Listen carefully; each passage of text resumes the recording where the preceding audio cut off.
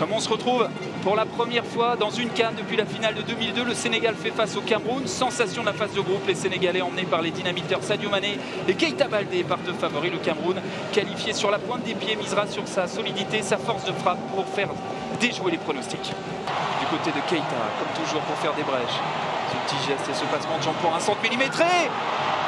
Ondoa qui s'est raté la tête ensuite et ce ballon qui file au-dessus. De, de- de construire. Sinon, ça va leur faire défaut. avec la frappe ensuite enchaînée Ondoa. Bassolog avec Jou. Bien joué dans la profondeur pour trouver la vitesse de Benjamin Moukanjo dans la surface de réparation. Moukanjo qui va chercher le centre en retrait.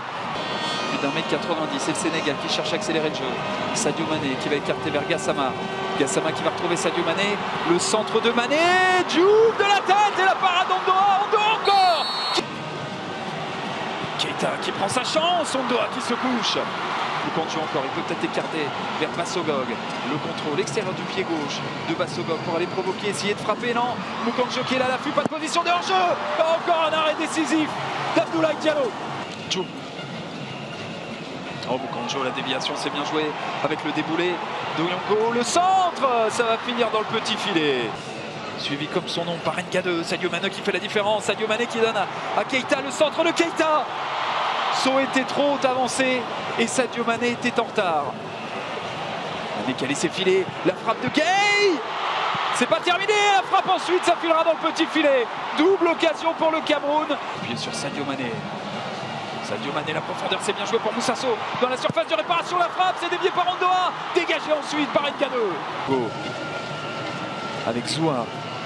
La passe de Zoua pour Aboubacar qui va remettre à chaque Zoua. Le face-à-face face à Diallo, la frappe, l'arrêt de Diallo. Et le sauvetage ensuite de la défense sénégalaise. Gassama qui est rejoué vers Badou Ndiaye qui fait la différence. Badou Ndiaye encore qui reste sur ses appuis. Avec Sadio Mané, peut-être pour un ballon glissé. Moussasso qui est trop court et qui va quand même réussir à frapper. Sans danger pour Andoa.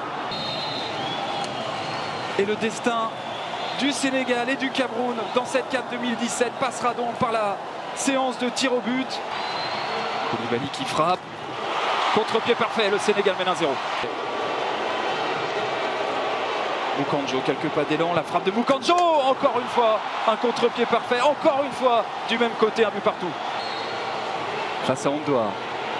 Mboji, oh, il avait détourné Ondoa, mais il a détourné dans ses propres buts 2-1.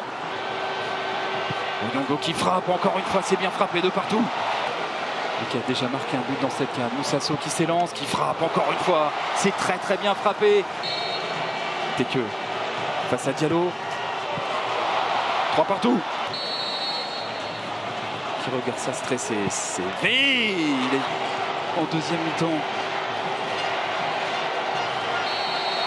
Zoua, le joueur de Kaiserslautern, qui prend beaucoup d'élan, qui stoppe sa course. Contre-pied.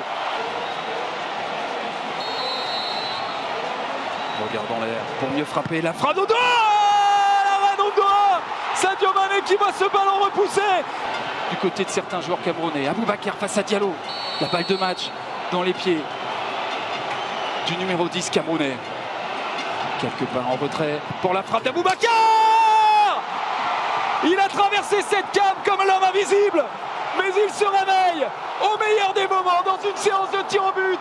Aboubacar propulse le Cameroun en demi-finale. 15 ans après, les Lions indomptables se jouent encore du Sénégal et s'invitent en demi. Une première depuis 2008. A vaincu le Sénégal avant ce match coup près. Le Sénégal trébuche encore, encore, encore en quart de finale.